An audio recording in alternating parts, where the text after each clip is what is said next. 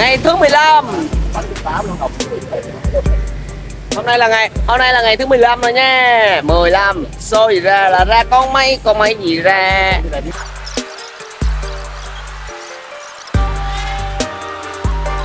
Tuần thứ hai nha.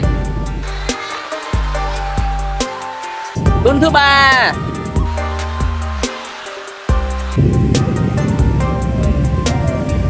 Tuần thứ bốn nha tuần thứ năm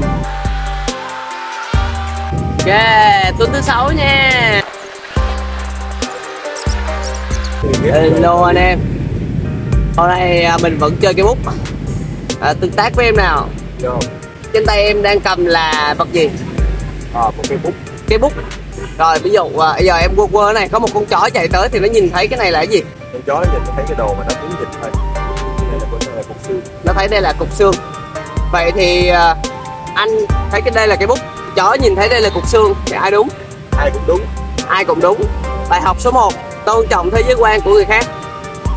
Rồi số 2 khi em để cái à, cái vật này ở đây. Anh đi chỗ khác ở đây không có một ai hết thì vật này là cái gì? Đó là nó. Là chính nó tức là ở đây là nó có tính không à, nó có tính tiềm năng vô hạn tức là à, nó có thể biến thành mọi thứ. Rồi khi anh tới ngay chỗ này lại thì cái vật này biến thành cái gì? À, nếu con chó chạy lại chỗ này thì à, nó sẽ thấy đây là cục xương. Cùng thời điểm đó là cả anh cả chó cả em tất tần tật chạy tới đây thì cái vật này nó là cái gì?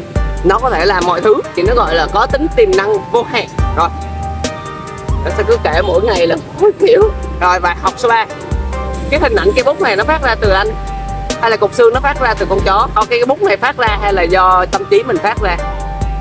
Trong đầu mình nhìn thấy. À, do trong đầu mình nhìn ra thì như vậy là mọi thứ đến từ phía mình. Mọi thứ đến từ phía mình chứ không phải là đến từ ờ, cái bút này. Đến từ phía mình thì có phải là mình có thể ướp thành kim cương được không? Được. Được ướp thử nha. Nắm mắt ướp thử uh, cũng là nó vẫn là cái bút. Nếu mà ướp được thì cái này nó phải biến thành kim cương rồi chứ không phải là cái bút cho nên bài học số 4 là mọi thứ không thể mong cầu không thể ước được. Mình phải gieo trồng trong tâm trí hành động lời nói mọi thứ. Mình cần phải thực hành mỗi ngày để nó có một cái à, dấu ấn trong tâm trí. Hôm nay hôm nay nó lại hơi lát lát một chút. Nó hôm nay kệ nó cũng chẳng mượt gì cả. Kệ đi. Mai mình kể tiếp. Bye bye ngày thể dục thứ 15 31 tháng 3 hôm nay là sinh nhật của tin phải không? Ok mình chắc phải mình đi uh, mua quà thôi.